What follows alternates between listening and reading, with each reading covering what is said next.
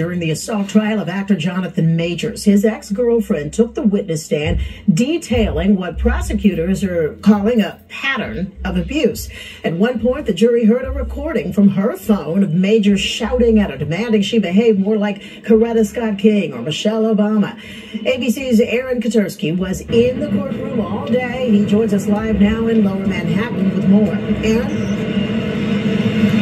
Sandra Grace Jabbari said Jonathan Majors wanted her to be like those iconic women because he was a great man, destined to do great things, and she was meant to support him. Before Grace Jabbari said Jonathan Majors assaulted her, she described to the jury how she fell victim to his mood and his temper.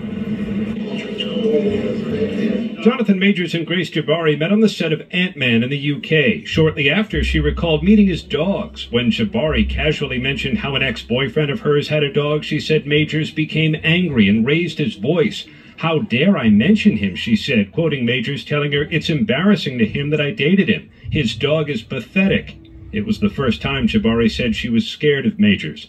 Fast forward to March 2023, the two were sharing an apartment in New York and returning from a night out. My head was resting on his shoulder, Jabbari said. We were chatting and he was scrolling on his phone when a message popped up saying, I wish I was kissing you.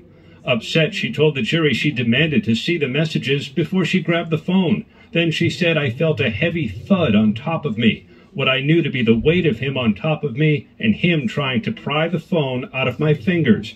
She described Majors pulling her right hand behind her back while holding the phone in her left.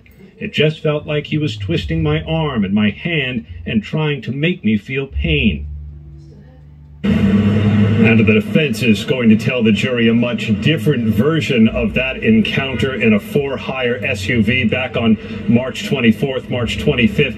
And the defense has already cast Jabbari as the aggressor, said she scratched and clawed at Majors, left him bleeding, behavior so out of control. An eyewitness the defense plans to call described Grace Jabbari as psycho girl. Bill, Sandra?